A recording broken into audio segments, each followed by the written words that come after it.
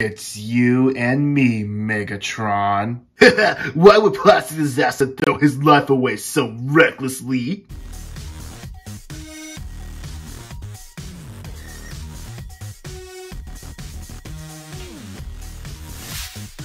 How's it going guys? It is Plastic Disasta and for my 100th video, I'm going to take a look at something I haven't done in a while building a Flame Toys Transformers model kit. But not only that, I'm taking a look at Megatron, the leader of the Decepticons. I reviewed a Flame Toys Optimus Prime, so I think it would be fair if I review a Flame Toys Megatron. Jumping right into the review, taking a look at the box art, we see Megatron reaching his arm out. I don't know what he's reaching for. Now, I know it says Decepticon version, but get this, before that this version was released, there was an Autobot version where he has the Autobot logo instead of the Decepticon logo. And I'm gonna be honest with you guys, I never read the IDW comics, and if you want to, educate me with the Autobot Megatron. This side of the box is the same line art, but it's a close-up shot. Moving on to the back of the box, we have the Megatron kit showing off the articulation, the details, what's in the box,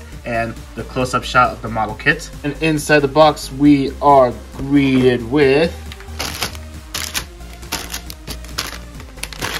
five bags of runners and a manual. Starting off with Runner A, we're gonna have some glossy black parts. And if you can already tell, we have some leg parts and parts for the fusion cannon. Runner B1 is gonna be more black parts. Looks like we got some hand options right up here. And I think there are some waist parts. Two Runner B2s, more black parts. Runner C1 is going to be the light gray parts. Runner C2, light gray parts again, and these are parts for the head. Runner D1, light gray parts again. Looks like we have parts for the chest, the back, and for the arms. Two Runner D2s, more gray parts. Two of Runner E1s, dark gray, and looks like we have parts for the inner frame. E2 is going to be more dark gray parts, and as you can tell, they look like tank wheels. And as a heads up, Flame Toys model kits don't transform to robot mode and vehicle mode. Runner F1 is going to be the dark red parts. Runner F2 is going to be the clear red parts, and those are the eyes. Skipping Runner F3, maybe that's an Autobot version, I'm not sure, correct me down below. We're going to go right to F4, going back to the dark gray parts, and you have two of these. Runner F5 is going to be the dark gray parts again. Runner G1, you got two of these, and G2, they're going to be just polycap parts. Smallish, medium-sized sticker, whatever you want to call it. Well, the only sticker I'm going to use is the Decepticon logo. A bag of two small screws. Taking a look at the manual, and of course, the cover always looks better than the box art, in my opinion. Taking a look at the back of the manual, we have Megatron doing cool poses and a rear shot. And right down there is how you clean the part off the runner. And inside the manual, looks like you're to be using all the parts, of course. So that's about it for the unboxing. Don't mind the mess because there is a lot of runners, which means it's to be a long build. But hey, you know what? It's to be worth it at the end. And I am really excited to put Megatron together. And I'll see you guys right after that. And here is Megatron in all of his glory. As for building experience, yeah, there were some areas that were actually quite difficult, but most of the time it's actually very easy.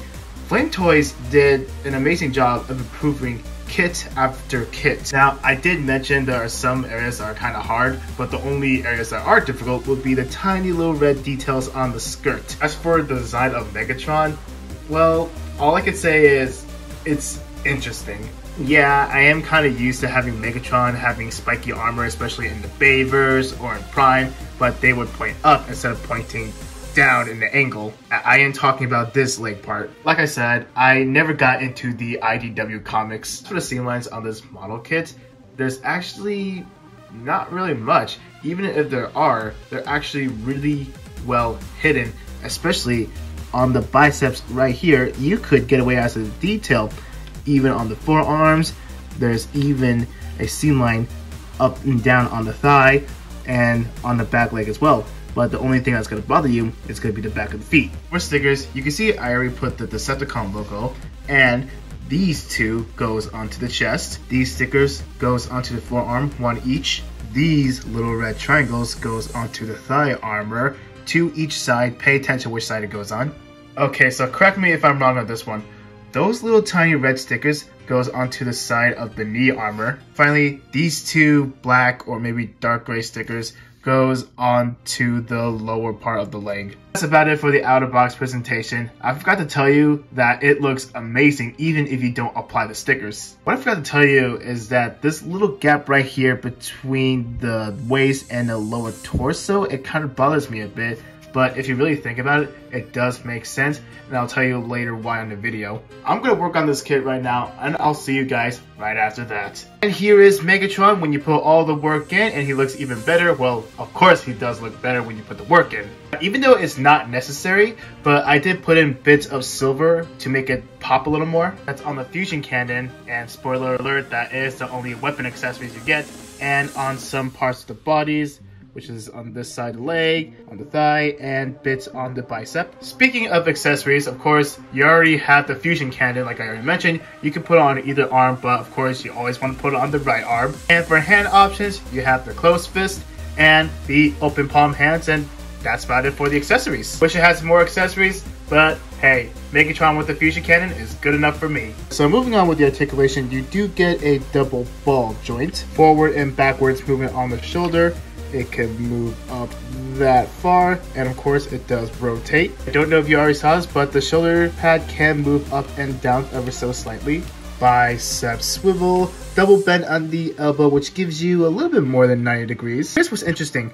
Inside the forearm there is a ball joint and up there there is a peg on the wrist but you do have everything you need to do rotate and just wiggle it around. Onto the torso, the upper part does move on a ball joint. Now, Remember how I said the gap did kind of bother me, but if you think about it, it does make sense. Because on the lower part of the torso, there is a ball joint, and since it's double ball joint, it has a pretty decent ab crunch and it can move back that far. Moving on to the skirt now, the front skirt can move up and down ever so slightly. I think I find that a little unnecessary. Moving on to the side skirt, and here's where it gets interesting. Now, the side skirt right here, it's not connected onto the side, it's connected to the back skirt. Alright, I just gotta pop off the upper half so you guys can have a better look at it. So, it does rotate, and check this out, it does move down and up just a little bit. Moving on to the legs, it can kick up this far. Notice how it's all weird, and I'll show you why later.